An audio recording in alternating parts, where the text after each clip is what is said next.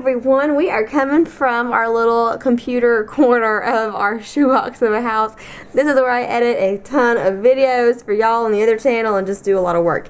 Anywho, I am doing a giveaway from some of the goodies that I got from the farmhouse sale. If you haven't seen that vlog, go over and check that out.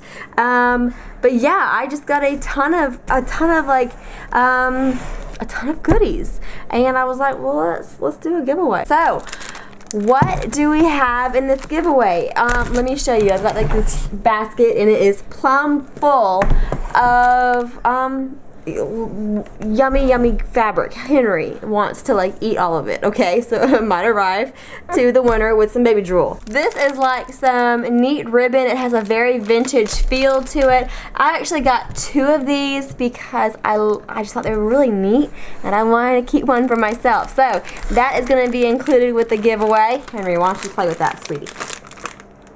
Okay. Isn't that nice? And then as you may have seen in the vlog um, the whip stitch piping unfortunately is going away, um, at least for the time being. It sort of broke my heart a little bit, but um, I gobbled up a ton of it and I thought this yellow, Audrey, please don't do that. I thought this yellow would be a great giveaway because it's gender neutral and just, you can do, I think it's a shade that you could do like heirloom stuff with it. You could do classic themes. I mean, you could just kind of let your imagination run wild. It's um, fairly uh, an easy shade of yellow to kind of do what you want with it, if that makes some sense. So that will be in the giveaway. One of my favorite things. And then there's just a ton of fabric. And these are like cutoffs. You know, they're ranging from, I don't know, a quarter of a yard to a yard, maybe a yard and a half for some of them. I think most of them are around half a yard or so, but I mean there's, you know, silk dupioni. Does that silk not look familiar, right? From um, a dress I made for Audrey, I think it was last summer. And then we've got some red silk dupioni. Um, here's some pink voile. Actually, that looks like Nola. That is Nola.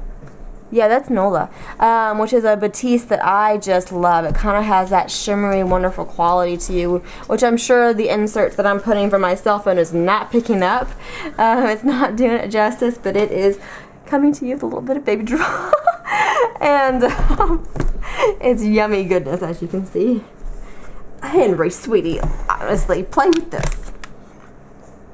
Thank you um, there's just a lovely hodgepodge. There's there's some linen in here.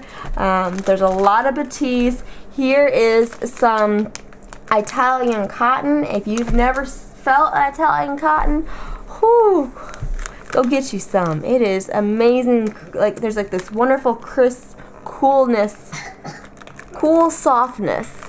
You know what I mean? To it. It's wonderful. Like it would make a fabulous pillowcase. I probably should do that. Um, more silk dupioni. Alright. Um, that looks like some Imperial Batiste. We've got, oh, this is the same stuff that I'm using this year for Henry's Easter uh, outfit. It is a cotton polyester blend. I think there's a little bit of a stain right here, so cut around that. But it's a, um, it's a cotton polyester blend and it has this little like has this little stripe in it. It's from France. It's gorgeous. Henry. Seriously. Some more Batiste. Ooh, there's some piqué in here. I'm Uh, Henry. You are not making this easy. Do you know that? Uh, Audrey's bouquet. Why don't you go play with some toys? All right, here's some more piqué. Um, there's like a waffle weave piqué, which is lovely. Um, I do like piqué. You like piqué? Yeah. Oh yeah, me too. Me too. Me too. Your birthday dress is going to be piqué this year. There's more piqué here. Um, more Italian cotton. And so you got to think when you're going through these things because it's not going to be like a you know, a huge amount of any one fabric. So you gotta think you can make a bottom of a bubble with this, you can make the top of a dress with that, you know what I mean? Like match, you know, match things up, get creative with it. Um, You could, of course, make a scrap quilt. I've got a blog on that on how I'm making a quilt out of my scraps, and that's, of course, an ongoing project. I really like the project because, you know, I've heard Audrey. Oh, isn't that pretty? Oh my goodness. I have heard from um, ladies that, you know, their kids are grown and whatnot, and then they go back through their through their clothing and they make a quilt out of the clothing, and I'm like, that's that I'm not going to be cutting up their clothing to make a quilt out of it. I mean, you do you. Like that if that rocks your your socks, go for it. But I'm not going to cut into these clothing. But I love the idea of like these are the scraps from from your Easter dress in this dress or in this quilt. You know, here's your Easter dress. Here's your here's your birthday dress. Here's a, a special occasions. You know, whatever wedding we went to that year, and have that be like the quilt of of memories. Um, something that's a little more practical they can snuggle up with, and and you can you know you know what I mean? It's not like tucked away with all the clothing or something. Oh, here is some. Um, this is dotted Swiss. Isn't it pretty? Yeah, it's white. It's white with white dots. It's so pretty. So pretty. Yeah. Here is What's this that? was wild to find this What's because this is waffle piqué, and I made. It's not Audrey's. What? I made a dress out of this stuff um, from myself. Um, oh my gosh, many moons ago, like five years ago. Back when I was well rested and set for myself.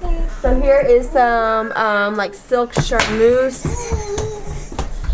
and we've got more waffle piqué, or no, just piqué, more piqué. Yeah, more piqué. Um, then there's some green um, silk dupioni. Here is some organza, which would be, there's actually quite a bit of this organza.